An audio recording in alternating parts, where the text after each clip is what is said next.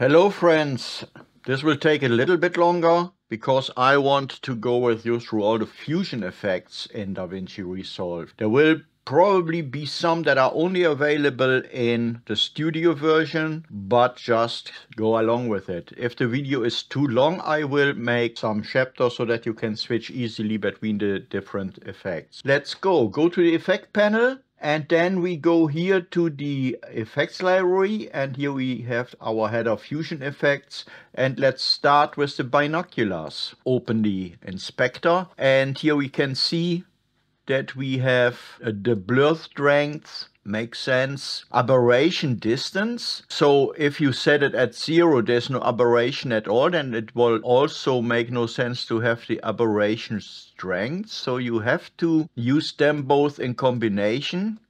Vignetting and everything. And this is true for every effect that you will find here within the fusion effects. You can keyframe everything.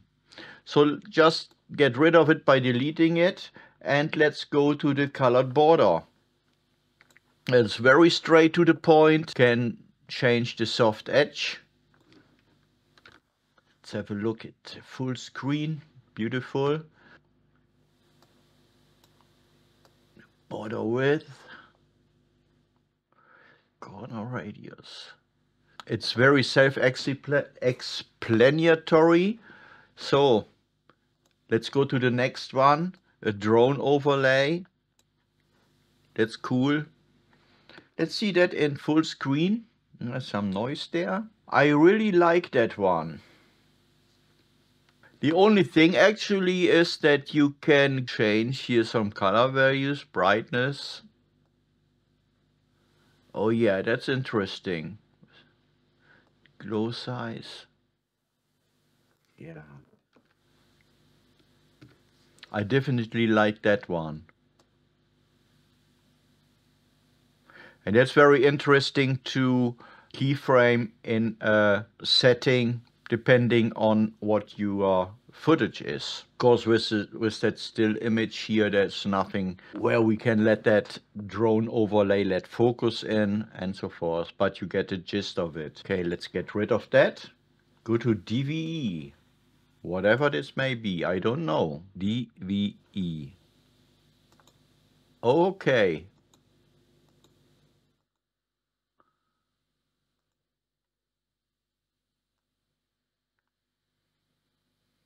I don't know where DVE actually stands for, but you can see that you have here different properties that are very self-explanatory. Okay, doesn't do very much for me graphic shape overlay.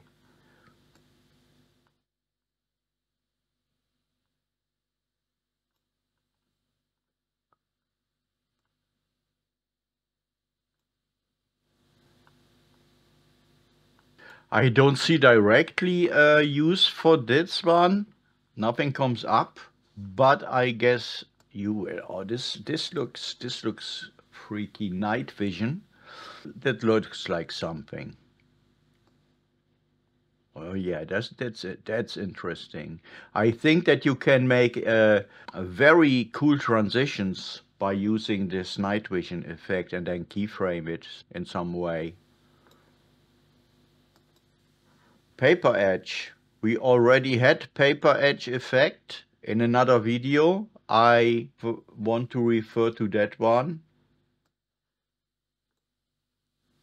If you ask me, uh, of course you can invert that. That makes more sense, makes it interesting. Um, I see the use of that here just like with the graphic shape overlay, more or less the same. Okay. And then of course interesting is to give it certain position. Easy to experiment with, so let's get rid of it for now. Stretch region. Oh yeah, I see that makes that that that weird mirror effect that you had on fairgrounds. Doesn't do anything good to our girl. Yeah, you get the we get the idea. So goodbye. Video camera. Um oh battery level. or that I just wanted to say that it would amuse me if we could if we could animate the battery level. That would be cool. And actually we can, yes, with a keyframe. Give it another color as well. Record light. Oh, cool. That's that's cool. The uh, most important properties can be keyframed and animated. That's that's nice. Let's go to the CCTV. In the last video, we had the CCTV within the analog damage effect. And here that's here a combination with the scanned lines effect. Digital glitch. There's something that makes me makes yeah that's that, this will be a nice a very nice transition. If you want to transition between clips that's cool. DSLR was what I expected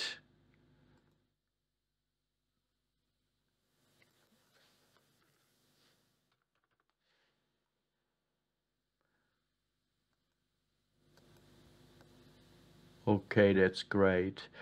You can animate everything here just like in the other one.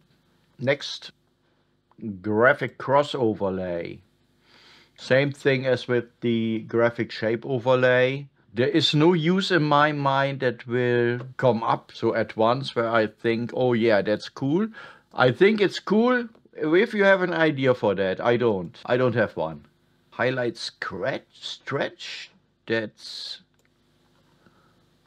interesting name. Oh yeah. I think that's also very can be very nice of an effect for transitions. You can animate that, uh, put it maybe on a adjustment clip and then use it for transitions. Noise distortion. It reminds me a little bit on the watery effect that we had with the fast noise effect. It's interesting. I think if I had something like that in mind, my first instinct would send me to the fast noise effect. Let's get rid of that. Let's see what the repeat does.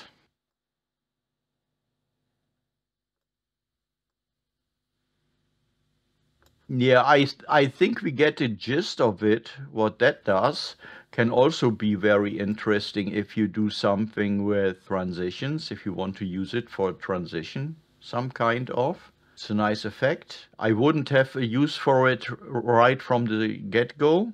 I think it all depends on what you are doing. Slice. Slice. Yeah, yeah, that's definitely that's definitively something where I would see it for a transition effect. Oh yeah, that's that's great. I like that one. Video call. Yeah, that's cool. That's actually very cool, very useful. That takes a lot of work out of your hand if you want to simulate a video call.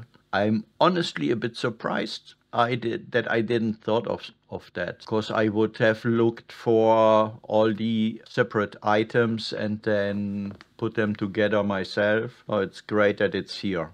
And last watermark. Okay, if you need for whatever reason a watermark. Okay, you can put a logo in it. Just let's try that. Logo. Drag logo here. Use logo. Yeah, there we have it logo saturation, change the size, the angle,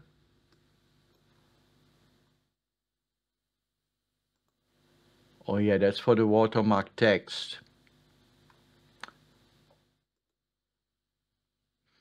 But okay, it's uh, clear what it does. So for now, I wish you a very great day ahead. Thanks for watching. Goodbye.